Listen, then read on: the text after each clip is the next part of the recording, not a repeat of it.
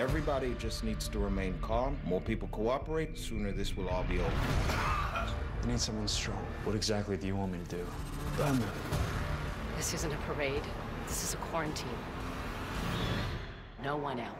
Containment continues next Tuesday at 9, 8 central on the CW.